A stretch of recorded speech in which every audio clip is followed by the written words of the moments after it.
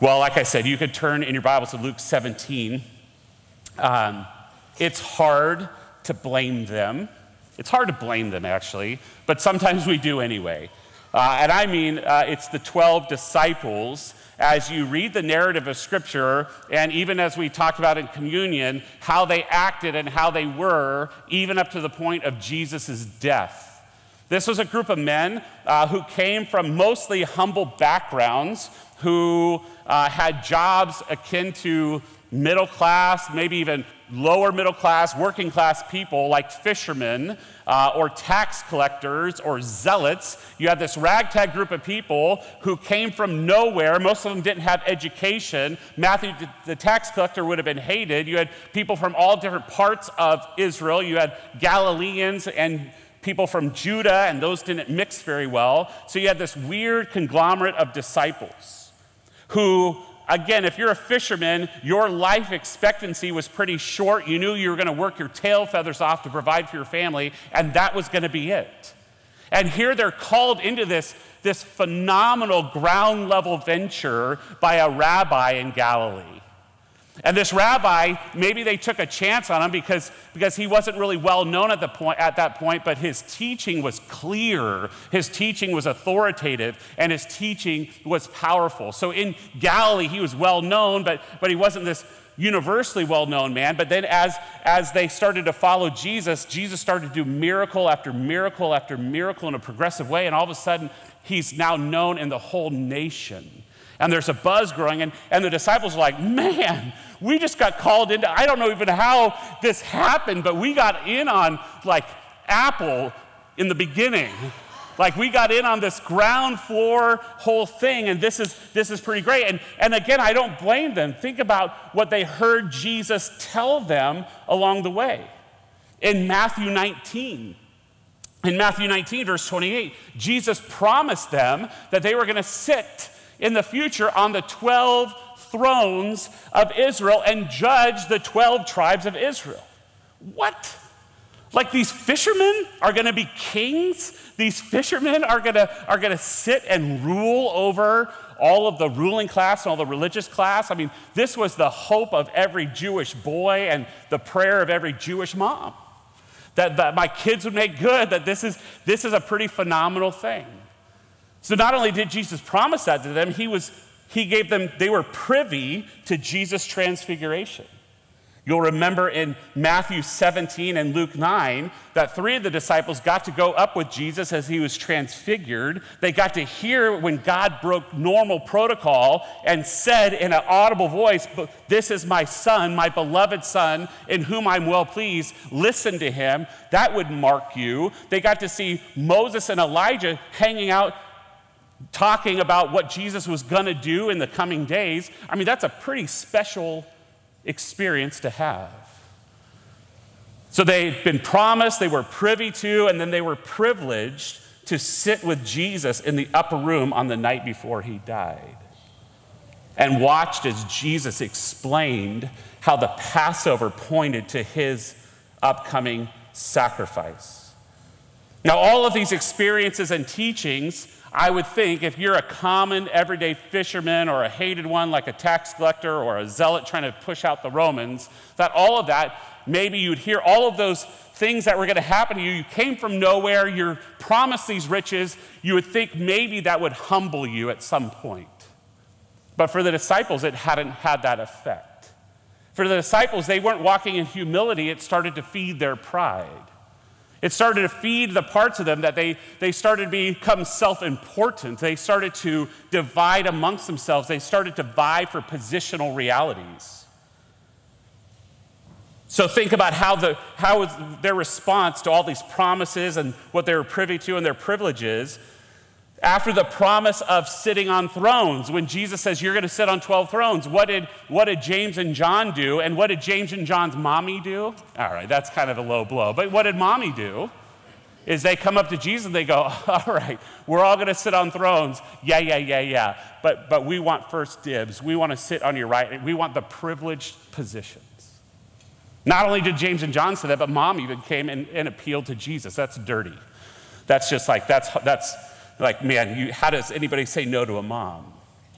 Jesus' response to that was his, he remarked that the greatest in the kingdom will be servants, and those who are first in his kingdom will be slaves.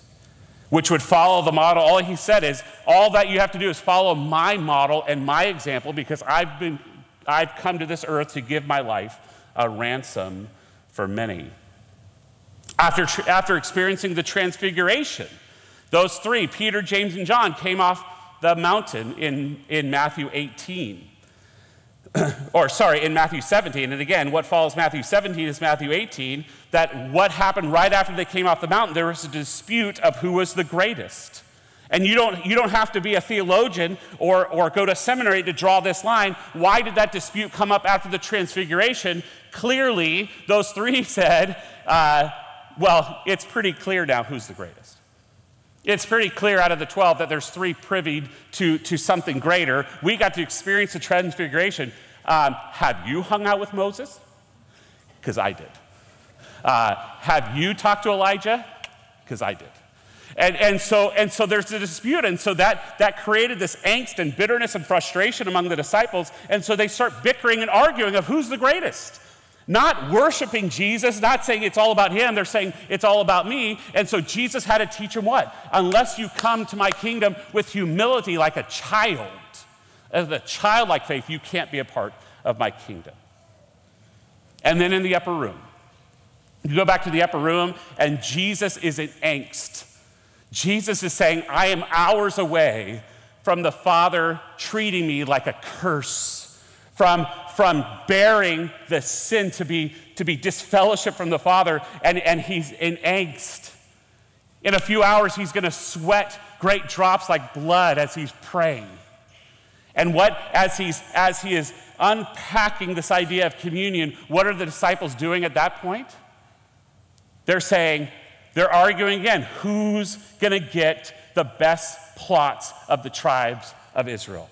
The, the thrones are coming, baby, and I don't want to get stuck with Issachar. No one does, except Issachar, I guess. Like, no one wants that. Like, we want the best of the, like, so they start arguing, they start elbowing, and, and they start smack talking along the way. And what does Jesus do to counter that? What does Jesus demonstratively show them? Do you know what he did that night? He got down on his, on his knees, put on an apron, and washed their feet. He says, You're not greater than me, and I'm going to serve you. I'm going to show you what my highest value is for you. I'm going to humble myself, and I'm going to wash your feet like a common house slave would have done. And then I'm going to turn that, and I'm going to say, You should what? Wash whom? Wash each other's feet. See, they still weren't getting it that Jesus is saying it's all about humility and servanthood, not about your own greatness and not about your own position. In fact, I believe that in 1 Peter 5 5 and 6, when Peter himself wrote about humility, he says, All of you put on or clothe yourself with humility. The word is put on the apron that a slave would have put on with humility. Do you know where he, what he was thinking of when he wrote that? He was thinking of his master who got down on his knees and washed his feet. And so, this ethic of humility is of high value to Jesus. Jesus was relentless in his message to his disciples. Humility is what God desires and demands, it's what qualifies us to be a part of his kingdom and what moves us to sacrificially serve one another. Peter goes on to say, God is opposed to the proud, but he gives grace to the humble. J.C. Ryle says the surest mark of conversion is humility. C.S. Lewis says, as long as you are proud, you cannot know God. So, humility is the primary ethic of God's people in His church to operate in, allowing us to put off pride and to walk humbly before God and in serving others. These last few weeks, we've been talking about marks of grace, marks of God's grace in our life. If we're going to be a healthy church, if we're going to be an effective church moving forward, Uh, we started back with biblical manhood and womanhood, that we want to understand who we are as men and who we are as women, the way God has designed us and created us. We, talk, we took a look at that we need to make disciples. That's a primary call of God to make disciples, and we do that of all nations. And so the church should be made up of all nations, a diverse group of people that learn to love each other. But all of that is going to take place because we are consistently willing to humble ourselves, not only before God, but before others. Without humility, the church doesn't operate.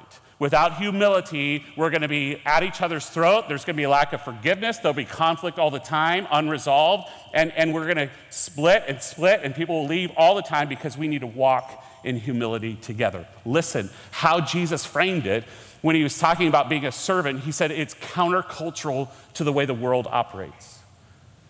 How do we show the world that we're different in Christ Jesus? Is we walk humbly together, not in hierarchy, not in forced authority, not in that some people do certain things but aren't, aren't willing to do other things. We walk differently than the world, and they should see that and go, That's, that is distinctive because of your humility.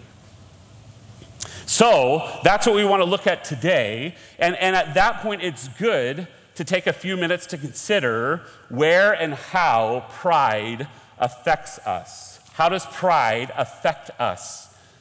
As we did with the disciples, pride, by definition and by nature, is both blinding and deceptive.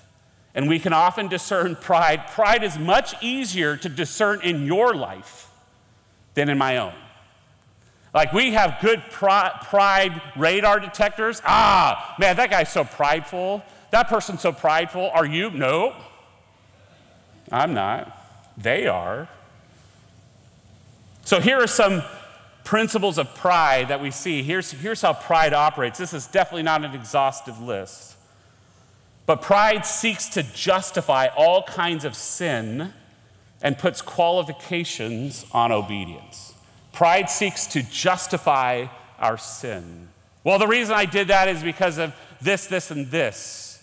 The reason I did that, it's not really my fault. The reason I, I sinned that way is because of the circumstances, the environment, my parents, my upbringing, my name it. Or I'll only obey if this happens. I'll only serve my spouse if they respond in kind. Pride, second, pride will shift and deflect away from reality and often will turn to accuse others.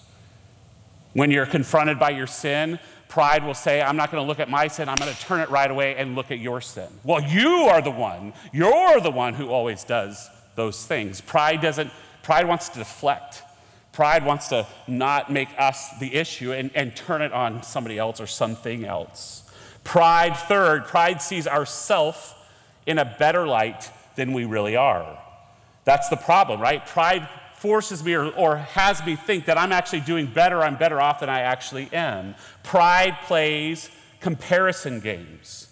And usually, when we play comparison games, we don't compare ourselves up, we compare ourselves down. Well, at least I'm not as bad as that person. Whew, I feel better. I don't compare myself to Scripture or God's holiness. I compare myself to some people in this room, and then I feel better about myself. I wasn't looking at you, Howard, intentionally. I'm just saying. I'm so prideful. That's the problem. All right, here we go. Proves my point.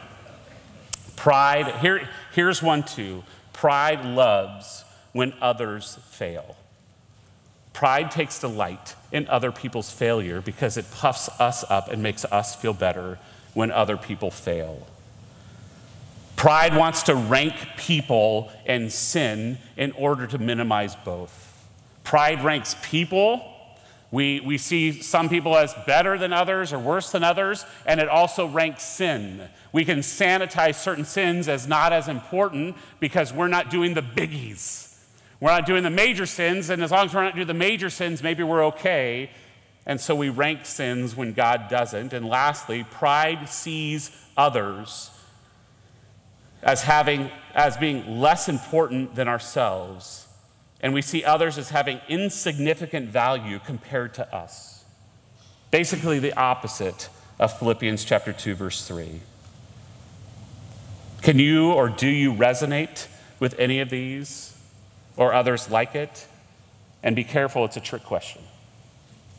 We all struggle with this. C.S. Lewis says if you think you are not conceited, it means that you are very conceited indeed. So this morning, we want to look at Luke 17, 1 to 10, and how humility is needed for us to work through relationships. Folks, we're in this thing together. We're going to be much stronger and more healthy when we walk together.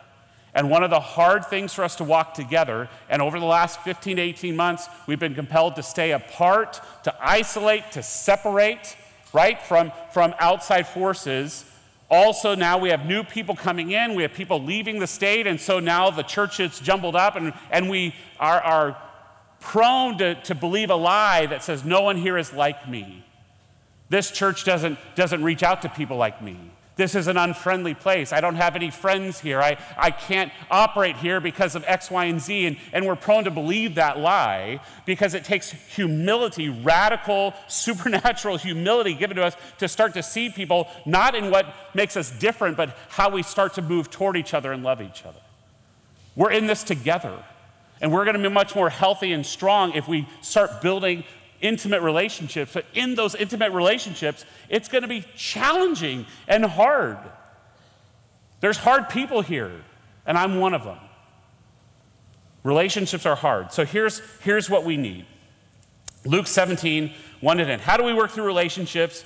How do we grow in our dependency on God? And how do we identify ourselves as servants? So let's read this together. Luke 17, 1 to 4. We'll start there. Humility is foundational for loving relationships. And he, Jesus, said to his disciples, Temptations to sin are sure to come, but woe to the one through whom they come.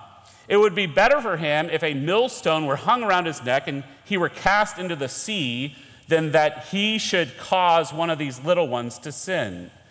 Here's a key phrase pay attention to yourselves. If your brother sins, rebuke him. If he repents, forgive him. And if he sins against you seven times in a day and turns to you seven times saying, I repent, you must forgive him. Challenging text. So before d- digging into this hard text, there are two fundamental issues that we have to remember that are at play here. The first is this, and we talked about it last week, but as disciples of Jesus, we share a common commitment to pursue righteousness and holiness. As we pursue God and pursue His glory, as we understand that when I'm saved, I have Jesus' righteousness imputed to me not only does God see me through the lens of Jesus' righteousness, but I have His life, His righteousness, His resources given to me so that now I could actually live righteously. Before that, any of my works just counted against me. Now I could actually live a holy life. Folks, that means that it should be one of our highest agenda items is how are we growing in our holiness and righteousness, right? Like that should be something that is regular in our thought. I want to become more and more like Christ every day. But the second reality is this we're not to pursue holiness and righteousness in isolation, but rather we're to do it together. This not only provides encouragement, right? We need each other to encourage each other, but, but what happens is in relationships, other people become mirrors into my own heart and soul. Just like in my marriage, right? Isn't, isn't that that happens in marriage that really as i'm talking to my spouse there's a mirror there as I, i'm seeing things get revealed things get exposed out of my heart that would have never been exposed before. We not only get to serve each other we grow by dealing with each other's sin resolving conflict and learning to love if you think you can be in relationships at this church without having sin be revealed in your own heart or somebody else's, you don't understand what relationships are. They're hard. But the core sentence here is the command between these two commands pay attention to yourselves. They were to give careful attention, to be aware about what, uh, what they teach others and how they deal with sin. Here it is relationships have the opportunity to bring out the best in us, but also the propensity to reveal the worst. Relationships bring out the best in us, but also reveal the worst in us. So here's, here's kind of how it's framed in these four verses. First, there had to be humble care not to lead anyone into sin. There's, there's two uh, truths here, two universal truths. One is temptations will come. There's always going to be temptations, but the second thing is they better not come from us. And here's the framing of the context here. What Jesus was pointing to was the teaching of the Pharisees. The teaching of the Pharisees led people astray. They tempted people to operate out of works, out of their own righteousness. And if you teach somebody that to become more acceptable to God comes through the conduit of your own works, of your own effort, of your own righteousness, I mean, that is about as damnable teaching as there is. That's why Jesus said, man, that person who leads people astray, who've been given the task of showing people the gospel of Jesus Christ, and they teach them the exact opposite, it'd be better for them to tie a millstone around their neck, toss it in the sea, and down they go. Like that would be better. That would be better. And so, and so temptations will come, woe to them through whom they come. Second, there's a humble connection in here to rebuke a brother.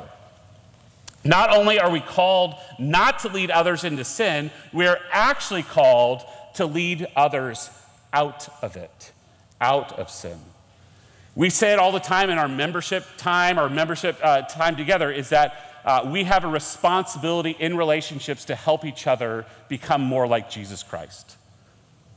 A lot of times we don't like to talk in reality. We'd rather talk about the weather. We'd rather complain about the government. We'd rather talk about our sports teams than talk about what's really going on in our mind and heart. But you have a responsibility, if you're in relationship here, to actually help each other deal with our own sin.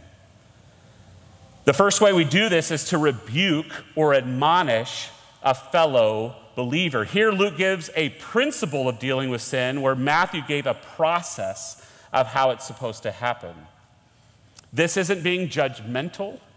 It doesn't mean, ah, the church is full of judgmental people. No, this is a caring, loving act that we do with people. This is not nitpicking. This isn't fruit evaluation. This is helping people deal with their real sin. So, a few principles here on rebuking each other, very briefly. Just remember this. If we're going to enter in, if there is sin in my life that you see, and you want to talk to me about it. Jordan, I've noticed that the way you talk to people is really out of bounds in the way the Bible talks about how you use your words. How do I, how do I enter into that conversation? What do I need to know to actually rebuke somebody or, or help somebody see their sin? First, according to Matthew 18 15, the goal of all of that is to win a brother. The goal is always to win a brother, to actually see them see their sin, repent of their sin, and, and now be restored. The process should always start in private first. So if I see something in your life or you see something in my life, don't talk to people about it. Don't post about it. Actually, come talk to me. Do you know that that's like one of the hardest steps I've found in my time in ministry?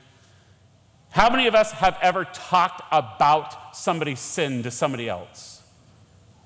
Let's be honest. How many of you have actually gone through the process where you've seen sin? You can put your hands on, that's good. Conf- that's good. Uh, how many of us have seen sin in somebody else? We don't know what to do. We hope somebody else does it. We're, and, and it happens to me as a pastor every once in a while. Somebody will come and talk to me. They're like, hey, do you know so and so is doing such and such? You know what you should do about that? And what's my response? Oh, well, why don't you go talk to them about it? Oh, no. Oh, no, no. I'm just, I don't, I don't know enough. I, that's not, I'm not a pastor. I don't, no, no, no. Like you saw it, right? Yeah. You love them. Yeah. You know whose responsibility it is? Yeah. right? Like it's yours, so go talk to them. It's your responsibility. Third, we only rebuke what is clearly seen and stands written. According to 1 Corinthians 4 1 through 6, we can only, we can only judge, and, and 1 Corinthians 5 uses that term, what we can see. Like, I can't, in other words, I can't judge your motives and intentions.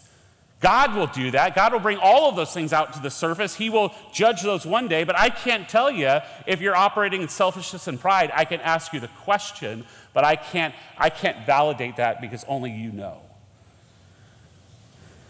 Fourth, we remember that love covers a multitude of sins. We do it out of love, we do it out of uh, care and compassion. And Galatians 6 1 says, We look to ourselves first or at the same time. I'm going to look to myself and make sure I'm not doing this out of improper motives or I'm not struggling with the same thing. And then we have a humble conviction to truly forgive.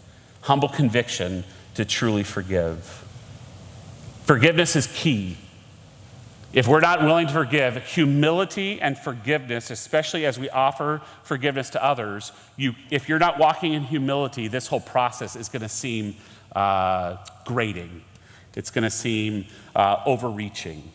But if humbly we're saying, I want to become more like Christ, I want to help you become more like Christ, and I talk to you about your sin, you're going to receive that humbly, or at least fight to receive it humbly, and now we're walking together. We live in a world, listen, we live in a world that's so easily offended. Are we not? We're like so easily offended.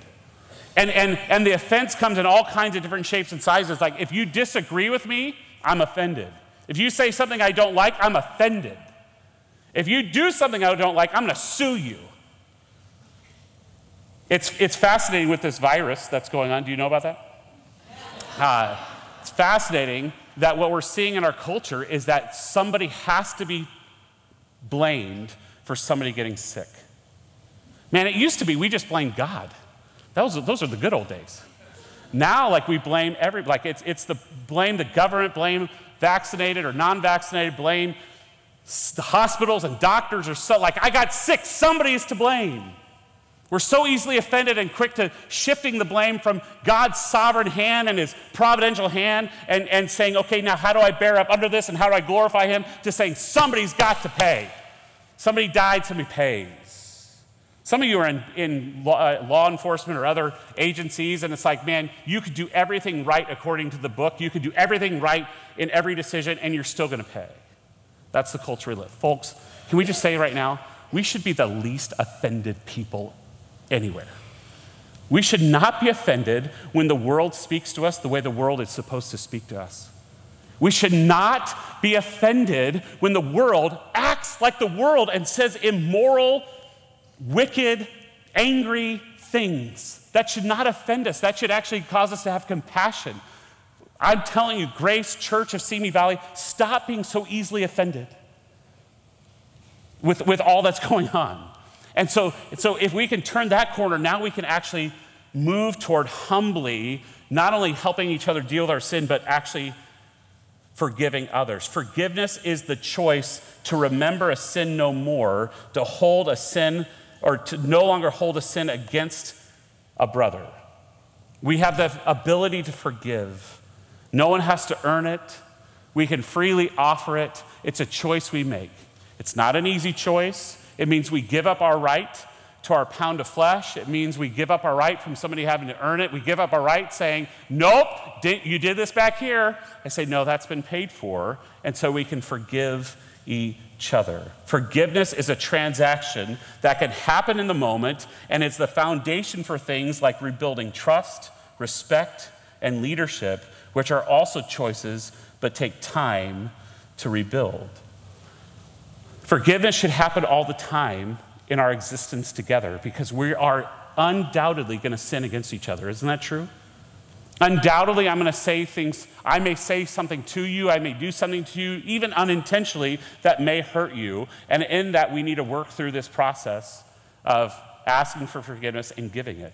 And when I offer forgiveness to you, it means I'm no longer going to hold it against you. I'm going to remember it no more. I'm not going to forget it because I can't. I'm going to remember it no more actively against you. It happens in marriage, it happens in your home with siblings all the time. And the question that the disciples had is that's neat, but how often am I supposed to forgive? And, and read here, what, did, what was the answer to that? If he sins, somebody sins against you seven times in a day and turns you seven times saying, I repent, you must forgive. Yikes. A couple of thoughts on forgiveness. Ephesians 4:32, we forgive just like God forgave us. Just like God in Christ forgave us, we forgive in Christ.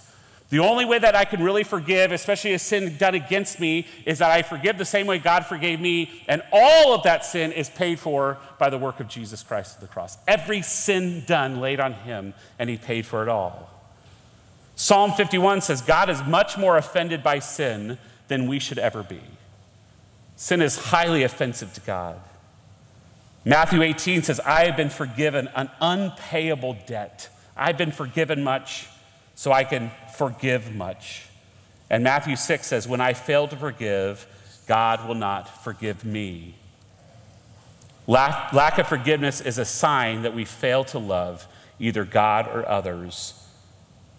And ultimately, we leave the judgment for other people in God's hands. Now, to answer the disciples' question, and maybe you've asked this question how often do I need to forgive somebody if they're going to continue to come back and ask for forgiveness? Here, Jesus says seven times. In another passage, what did he say?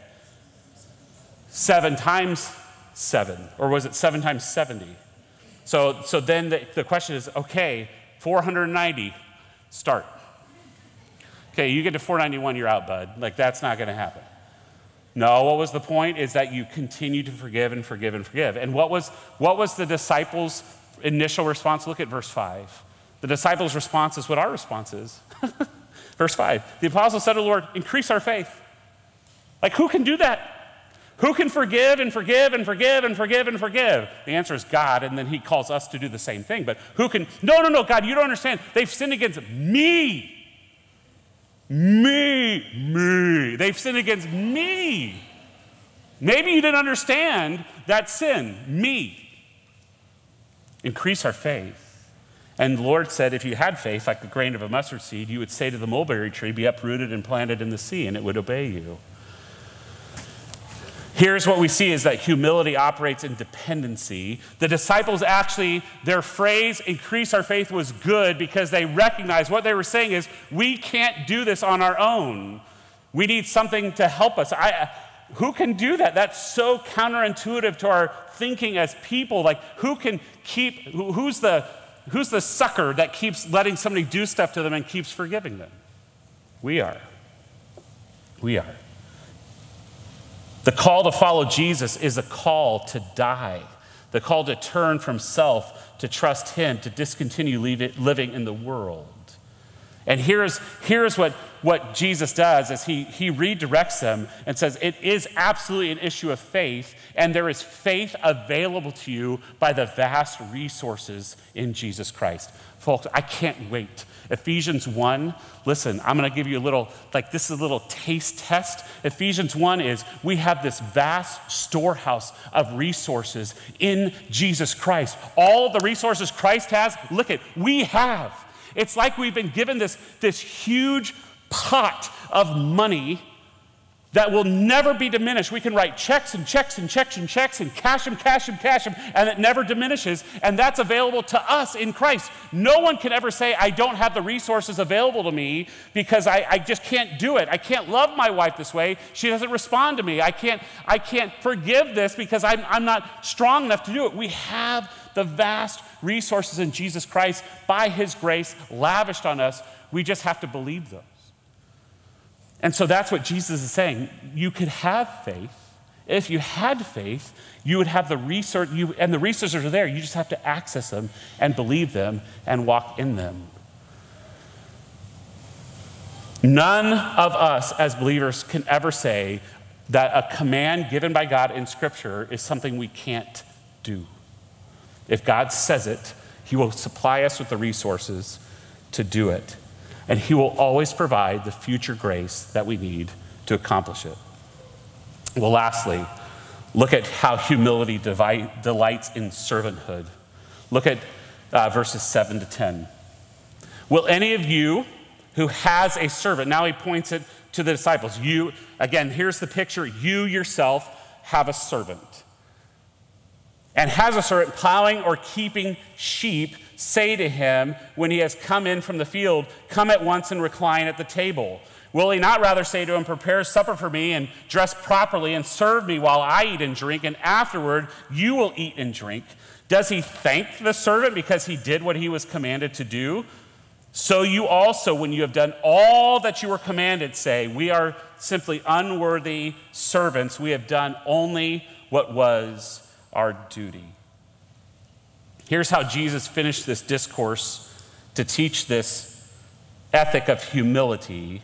He told a story of a servant to illustrate the function and mindset needed for a faith driven, grace dependent, forgiving, forgiveness offering, willingly rebuking, and stumblingly, stumbling, avoiding disciple. So the picture was simple. In this day, you would have bond servants in a house. Sometimes they'd be purchased, sometimes they'd be uh, inherited. But, but the role of a servant was simply to do the will of the master. And he's, he's saying, you are, you are the one who has the servant. And, and here is the day a servant would get up when day broke, and he'd go to bed when night came. And all day, the role of the servant, seven days a week, was to serve. And he served at the will and the whim of the master. And here the story goes that the servant would go out in the field, he'd plow the field, he'd tend the sheep, he'd do whatever a servant does. He'd come in, and the master says, Hey, thanks for coming in, but you kind of smell. Why don't you clean yourself up before you fix my food? And after you're done fixing my food, you can eat. And by that time, I'm going to go to bed. And that was the day. And then you know what tomorrow brought? The same thing. That was the story. And what Jesus is saying here is that in humility, that servant is going to do that day in and day out. And you know what the master never actually does for the servant in that time? He never even says what? Thank you. No, thank you. Uh, he never even says thank you. Isn't that how we operate sometimes? Like, I, I found when I've served, sometimes, nope, all the time, I want to be noticed for serving. I still remember uh, this one time I served my wife, this one time. Uh, I remember she was gone, and, and when she came back, I had uh, tried to clean those areas that I don't normally see. Uh, Erin says, when I clean, I don't really clean. I'm like, I don't know. Like, it seems pretty clean. Everything's picked up. She goes, You don't deep clean. I don't even know what that means. Dig? I mean, go, I don't know. Uh, so she left, and I, and I cleaned the, the bathroom mirror because they had those little flecks, you know, from your toothbrush. Anyway, no? Okay, so I cleaned the mirror and I cleaned the kitchen sink. And do you know when she got home, she had the audacity not to notice? Audacious. And, and so I, I, I found my, I did it because I love her, I want to serve her. But, but as she went through her day, uh, as she got home, she, she didn't notice. And she still didn't notice. Still didn't notice. So I'm like, hey, hey, why don't you, you want to brush, brush your teeth? wash, wash dishes? in other words, I couldn't live in the tension of serving without being thanked. Like, and I, I just wanted her to notice, right? And say, well, man, well, that's well done, thank you. Once you notice, right? Like that, I, I want, but that's, Jesus is saying, here it is. As humble servants in God's church with each other, we operate truly as slaves, truly as servants. We do it because we want to honor the Lord. We do it because, listen, we don't act like servants, we take on the mindset and the identity of servants. Do you see the difference? If you act like a servant, you're going to serve, but there's going to be other motives in there. You're going to do it to be seen, to be known, to move up the ranks, to go into the inner circle, whatever it is. You're going to do it for other reasons. If you take on the mindset and the identity of a servant, now you go, I'm doing only what I ought to do. You see, here's the problem with our service we like the idea of serving until somebody treats us like a servant. We all like the idea of serving. Ah, I'll serve here, I'll serve here. And, and you know the limits that that puts on us? It's, here's how I hear it I'll serve, but I'll only serve in this area. Yeah, but we don't need you in that area. We need you in this area. Yeah, that's for somebody else. I do this. This is my area of service. I'll serve all day long. Well, most of the, some of the, I'll serve once in this area, but don't ask me to, I don't, I don't hang out with kids. I don't stack chairs, I don't clean, I don't stay long, I don't do those things. If we take on the mindset of a humble servant, we say, what is it, what is it that needs to get done? What are the things that need to happen? Actually, I don't need you to stack chairs. I need you to go over to the hospital and visit with somebody. I need you to have that hard conversation with somebody. I need you to listen to this person. Oh, I don't do that. No, no, no, no people. I don't want people. Oh, let me just serve in the background. When we take on the mindset of a servant, we are unlimited in the amount of service we can actually do. And notice here, it's not just servants, but notice what these servants said in verse 10 we are unworthy. We're unworthy servants who serve a most worthy king, a most worthy master. We never outgrow this status, but by faith we embrace it more and more, causing greater joy and greater effectiveness. When we embrace this mindset, forgiveness becomes possible. We care about others in a way that goes beyond what they can do for us. We are not easily offended because we know what we truly deserve. We are quick to love, quick to give grace, quick to cover an offense, and quick to grant mercy. This is the distinctive living of a distinctive gospel. So, just a few implications to ponder. We, in humility, we maintain unity by staying humble in differences. We serve each other not in the ways we want to, but in the ways that are needed. 1 Thessalonians 5:14. Sometimes we need to admonish the unruly, sometimes we need to encourage the faint-hearted, sometimes we need to help the weak, and all times we have to be patient with each other. And we willingly pursue each other, overcoming our insecurities and selfishness by humbling ourselves in the same way that our Savior did. Jesus never calls us to something he himself didn't do, to the point of death, even death on a cross.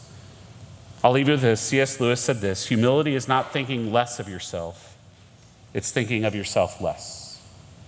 Let's pray. Father, thank you. Thank you for this morning. Thank you for this challenge. And as people, as a man myself who has operated in pride for decades, who knows exactly what pride is and what it looks like, I ask and I pray that you would allow your people to humble themselves before you. That we would humble ourselves before your hand, before who you are, that we would see ourselves for what we truly are as unworthy servants. That we'd have a proper view of ourselves so that as we see ourselves in that light, that we can truly begin to serve each other. Serve without thankfulness, even though that's a good thing, that we can serve for others' good, that we could point people to Christ, that we would be a drink offering poured out for you, that our life would matter in, in the impact on other people and you being pleased with us in humility, not what we can do. So humble us, Lord. May that mark us as a church. May that mark us as families. May that mark us as individuals, that this group of people is truly humble before you.